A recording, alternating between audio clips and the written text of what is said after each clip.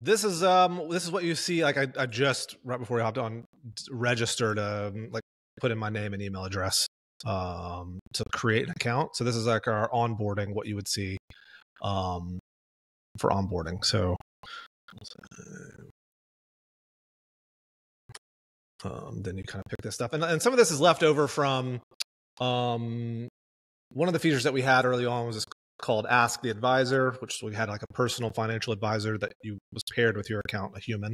Um, so we've pulled some of that out. Um, however, these things also sort of give context to what your goals are, kind of what you're working towards, and will pre-populate certain parts of the app. So absolutely yeah. personalized experience. If we could give an extra zoom here, just so that everything. Oh sure. Yep, there we go. Yeah, it's perfect. Okay. Um, let's see.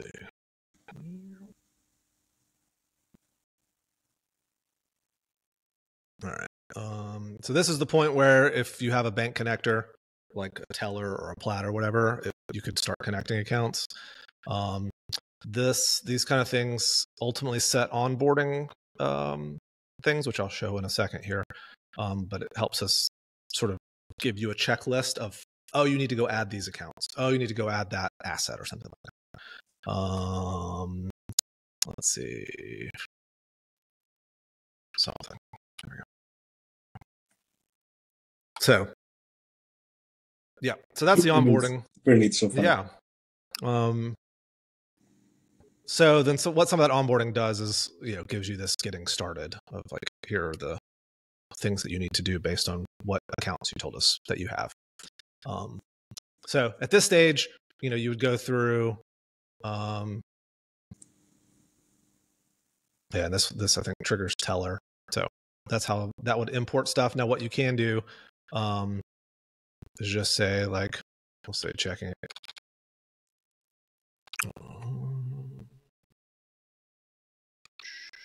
So um, that'll go ahead and fill in some of this stuff. Um, let me add one more thing, and then I'll show you. Mm-hmm. Yeah, one other thing that what this fills out.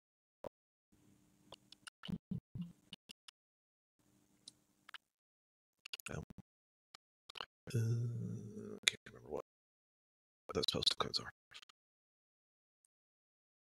So.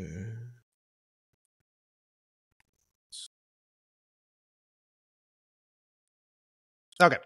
Um, so so then you know you can add a bunch of that stuff, um, and then go into this is sort of like a retirement planner that's generated automatically for you based on the assets that you've added and like the typical growth rate of those different types of assets. This automatically pulls all the, this kind of stuff, and then you can go in and add different life events and um, that kind of stuff, and just see like, okay, I'm planning on retiring at this age. Will I run out of money at a certain point? That kind of thing. Um, so a lot of the, there's a ton of stuff that exists when you start adding lots of different accounts. So investment accounts showing return and being able to compare them to the S&P 500 and things like that. So, but that's what we're in the middle of getting functioning now is like the foundations there, but previously we were using Plaid to import all that data. So now we have to rebuild how you get all the data in there. Um, and that's sort of what we're in the middle of. Yeah, I think there's an educational element as well with a lot of these things. Sure. So yeah, for instance, you can click on pretty much anything and we've we've got a whole um yeah, a thing that using your data plugs in to like kind of tell you what that is, why that matters, how to affect it.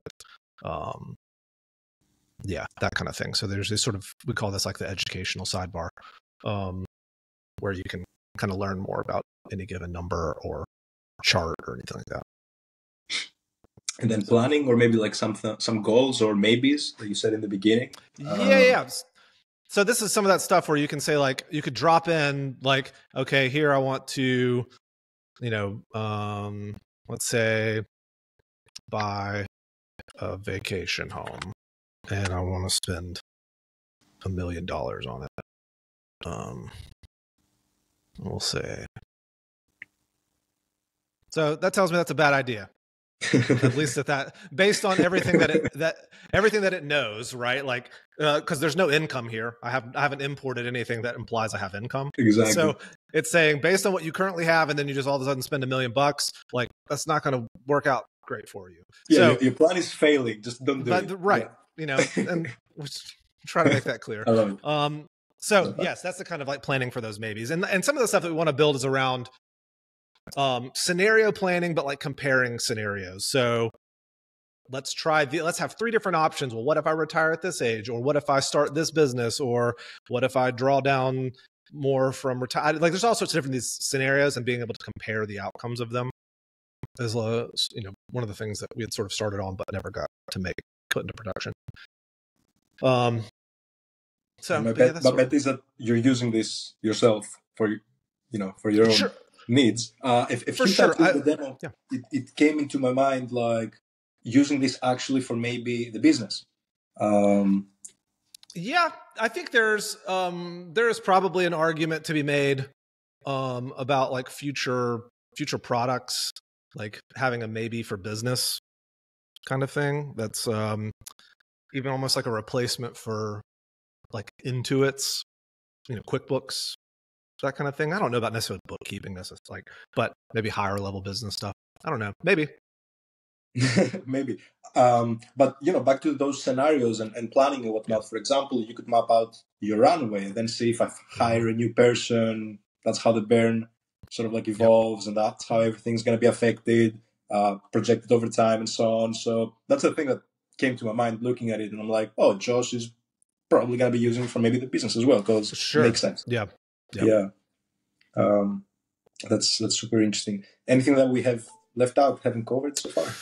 Probably not at this stage of the of the product. I mean, you know, again, it's like a lot of what we're working on at the moment, sort of a week and a half out of making this thing public, is uh, getting it sort of back to being fully functional. Um, so it's, I would say, it has, it is not back to its um, former glory yet, but it will be uh, in the next couple of weeks. And uh, you know, certainly I hope we have the opportunity to maybe repeat this later down the line, maybe this year, Sure. to see how everything has come together, as well as get more advice and experience from you um, leading the project. This Yep. was uh, this was excellent. Really appreciate it. I know you're super busy right now, uh, so thank you for making the time. Any last remarks? I don't think so. I appreciate what what you guys are doing with like making bounties super easy. Um, you know, it- I- as I started looking at all that stuff early on, it's like you guys were sort of the obvious use case or, or tool to use, and um, yeah, it's been great and uh, nice to not have to think about the infrastructure to like set up our own bounties and all that stuff. So I appreciate Um, it. It's a, it's a privilege serving you. Yeah. It really is. So thank you so much.